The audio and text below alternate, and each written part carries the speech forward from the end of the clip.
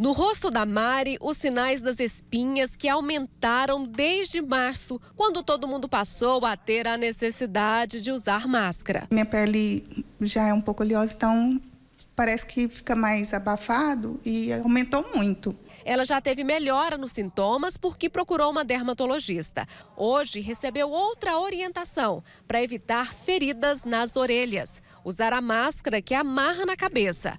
Tem muita gente na mesma situação que a Mari. É espinha, alergia, coceira, em alguns casos até aumento de linhas de expressão embaixo dos olhos. A máscara, ela depende do material, ela pode causar uma, um aquecimento maior na região pela oclusão que ela causa, aumento da umidade pela própria saliva, né, do paciente que fica muito tempo ali realmente conversando e favorecer tanto as dermatites, que são as irritações, a vermelhidão da região, a própria infecção pela própria bactéria da boca também e as alergias pela, pelo próprio atrito que a máscara causa. Com esse incômodo, muita gente acaba usando menos a máscara do que deveria. O que fazer então? Qual o melhor tecido? Quais cuidados para se ter com a pele? Se for um profissional de saúde que tenha contato direto com risco, né?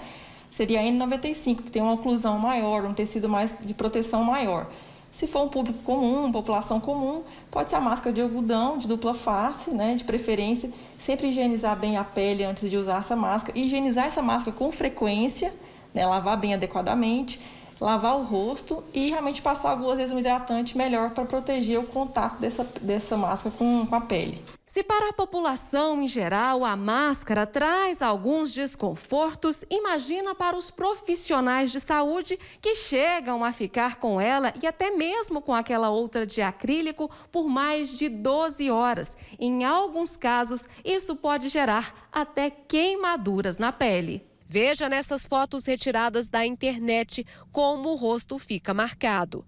O doutor Rander Sérgio, cirurgião plástico, sofre muito com isso e procurou tratamento dermatológico para conseguir suportar o uso das máscaras por várias horas. Eu já tinha uma dermatite prévia, mas que tem sido agravada por esse uso contínuo de máscara, com irritação, vermelhidão, ressecamento da pele e descamação.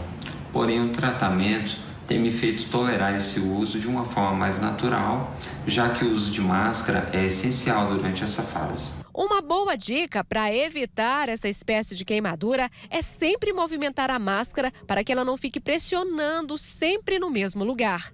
A Mari, a partir de agora, espera abandonar as espinhas e irritações, já que não sabemos quando poderemos fazer o mesmo com a máscara. Passei a limpar mais a pele, né? E passar um hidratante mais neutro por causa do uso da máscara.